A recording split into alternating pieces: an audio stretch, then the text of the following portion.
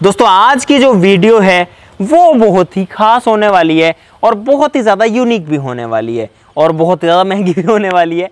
तो गाइज़ आज हम लोग बनाने वाले हैं बहुत बड़ी चॉकलेट बहुत बड़ी चॉकलेट वो भी डेरी मिल्क चॉकलेट से। तो यहाँ पर हमारे पास में भाई साहब बहुत सारी Dairy Milk chocolate chocolate in fact जो हमारी पूरी टेबल है, वो यहाँ पर चॉकलेट से भर चुकी है। आप लोग देख सकते हो कि यहाँ से लेकर यहाँ तक पूरे में सिर्फ़ चॉकलेट्स हैं। और इस तरीके के पैकेट्स हैं हमारे पास में। ये जो है सौ रुपये का पैक आता है और हमारे ऐसे, हमारे पास में इस तरीके के पचास पैकेट्स हैं। तो हम लोग क्या करेंगे भाई? इन 50 चॉकलेट से एक बड़ी चॉकलेट बनाने की कोशिश करेंगे। क्योंकि भाई साहब, हमारा काम है क्रेजी करना। वैसे तो ये जो चॉकलेट है, ये भी अपने आप में इतनी छोटी नहीं है, काफ़ी बड़ी है ये। लेकिन जब 50 चॉकलेट से एक बनेगी तो वो क्या मॉन्स्टर साइज़ की होगी? कितनी बड़ी होगी और कितनी मज़ेदार होगी? तो फटाफट से शुरू करते हैं और सबसे मज़ेदार प्रोसेस ये भी होगा कि हम किस तरीके से इनको बना सकते हैं, ठीक है? तो शुरू करते हैं आप लोग वीडियो के लिए लाइक का बटन ज़रूर से दबा देना।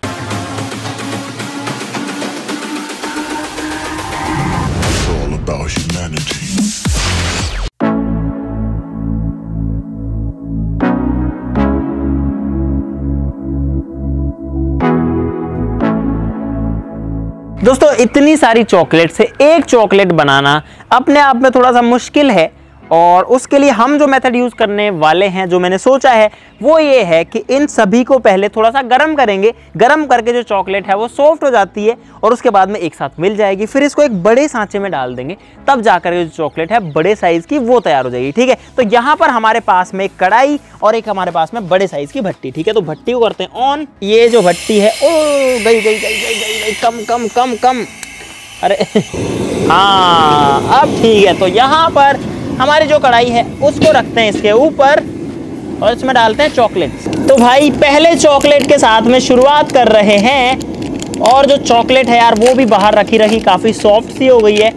आप लोग देखो कुछ इस तरीके की यहाँ पर चॉकलेट है ये।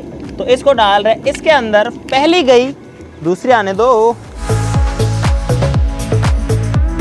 अरे यार, ये तो जलने लग गई गाइस ये तो जलने लग गई। कम कर कम कर कम कर कम कर, बिल्कुल कम कर दे भाई। तो दोस्तों, यहाँ पर हमने थोड़ा सा सिस्टम चेंज किया है। कल जो है अंधेरा भी हो रहा था तो हमने बीच में रोक दिया था और ये चॉकलेट था ना, ये जलने लग गई थी कढ़ाई में। तो अब कढ़ाई में पानी डाला, उसके ऊपर हम ये भगोना रख रहे हैं ताकि गर्म पानी जो भगोना है, वो गर्म हो और चॉकलेट जो है वो गर्म पानी की वजह से मेल्ट हो, ताकि ये जो है, जले नहीं।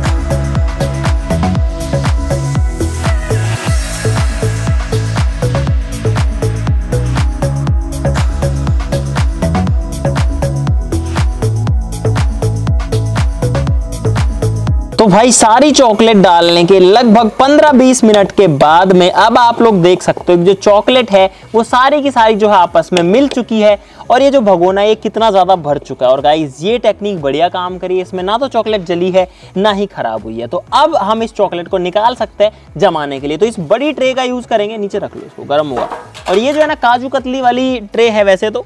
तो हम लोग अब इसके अंदर जो हमारी चॉकलेट है, उसको निकाल सकते हैं। अभी भी थोड़ी गाढ़ी होने वाली है।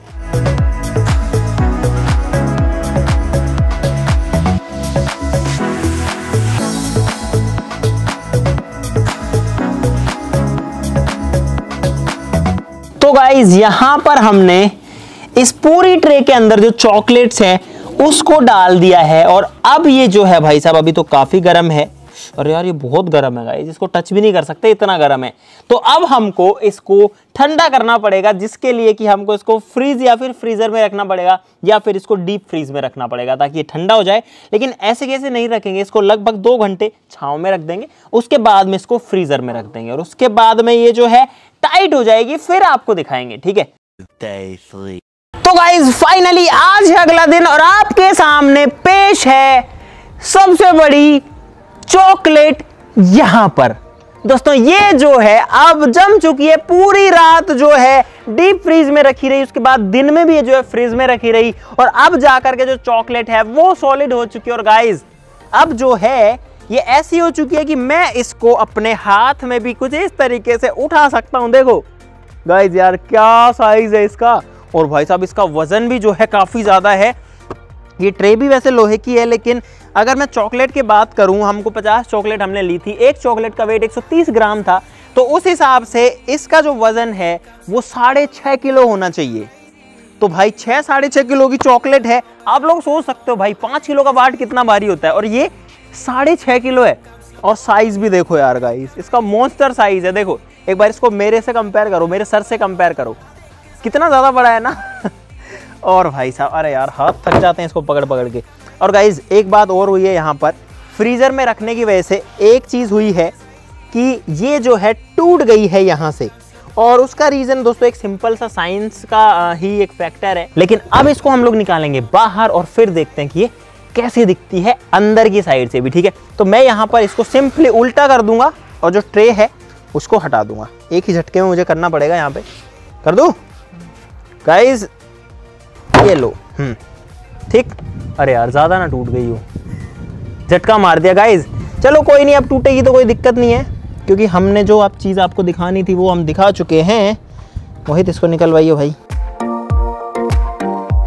तो गाइज़ यहाँ पर आप लोगों के सामने है इतनी बड़ी चॉकलेट वो भी हैंडमेड मतलब इतना बड़ा साइज़ तो हैंडमेड ही है। और इसकी मोटाई देखो गाइज़ एक बार यार क्या मोटाई है?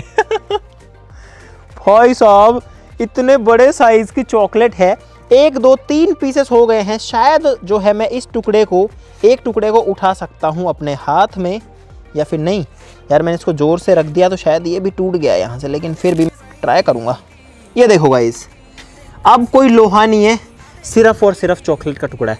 और आप लोग देख रहे हो, इस साइड से एकदम जमी हुई है, यहाँ से देखो एकदम जमी हुई है, और इस साइड से पिघलने लग गई है। देखो, अलग ही दिख रही है। क्योंकि गाइस सूरज जो है वो ऊपर की तरफ़ पड़ रहा था और आप लोग समझ सकते हो कि कितना मुश्किल हुआ होगा हमको इसको बनाना, इसको फ्रीज़ करना और उसके बाद में इसको आज शाम तक ऐसे रखना।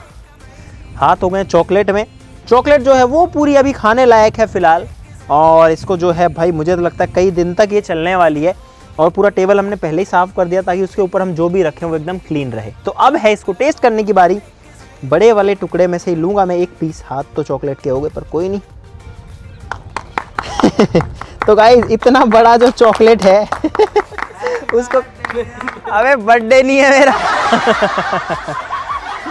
बर्थडे नहीं है मेरा। गाइस बर्थडे आने वाला है वैसे। बर्थडे जो है, वो भी आने वाला है। कितने लोगों को पता है कि आपके भाई का बर्थडे कब आता है? नीचे बताओ। कमेंट्स में। तो ये मैंने दो पीस कर लिए। टेस्ट करेगा? अंकित करेगा? हाँ मना तो वैसे भी नहीं करेगा तू। बोले तो गाइज़ हम्म। एकदम मेरा एकदम प्योर ऐसे तुमको दर्शक बनाने के लिए नहीं खिलाया था। देखा टेस्ट बताने के लिए खिला रहे हैं। ये इतना सा टुकड़ा भी कम से कम शायद तीस चालीस रुपए का तो हुआ अंदर से एकदम जमी हुई है। और बाहर से पिघली हुई है।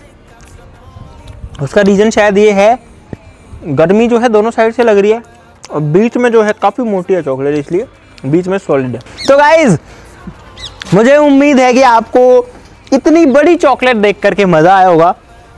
गाइज़ इस चॉकलेट को बनाने की कीमत भी पाँच हज़ार रुपये है। ये जो चॉकलेट है ना, अरे यार, ये तो इस पर चिपक गई कि हाँ।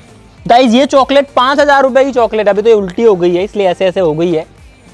क्योंकि हमने सौ सौ रुपये की पचास चॉकलेट लगाई है सिंपली तो पाँच हज़ार की चॉकलेट हमने आज खा करके देख ली है।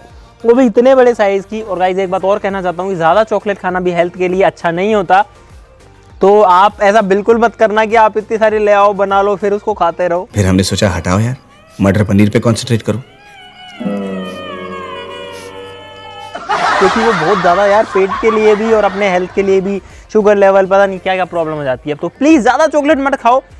ज़्यादा चॉकलेट मत खाओ, आपकी इच्छा है, एक दो आराम से खा ली, ठीक है, बस इससे ज़्यादा नहीं, ठीक है। तो अगर आपको मज़ा आया वीडियो में तो लाइक ज़रूर से कर देना, मैं ज़्यादा कुछ कर भी नहीं पा रहा। चैनल को सब्सक्राइब कर लो, ऐसे ही और मज़ेदार वीडियोज़ के लिए। तो चलो फिर मिलते हैं अगली वीडियो में, तब तक के लिए नमस्कार बाय बाय